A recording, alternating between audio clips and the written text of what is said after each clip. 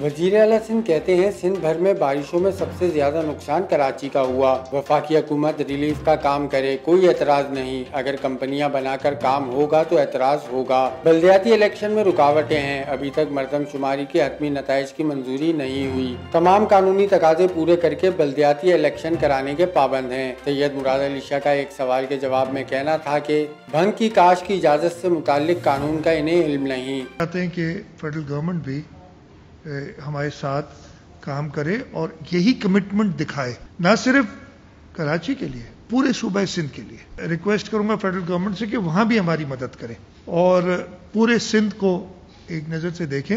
Latest census notified जो है वो उन्नीस का है। अब उन्नीस के सेंसस पे तो मैं इंतबात नहीं कराना चाहूँगा। मैं चाहूँगा कम अज कम जो 2017 वाला सेंसस है वो नोटिफाई हो जाए हेम्प इस्तेमाल होती है शायद दवाइयाँ बनाने में या क्या, जो भी होता है, अगर पॉजिटिव मुझे नहीं इसकी डिटेल पता।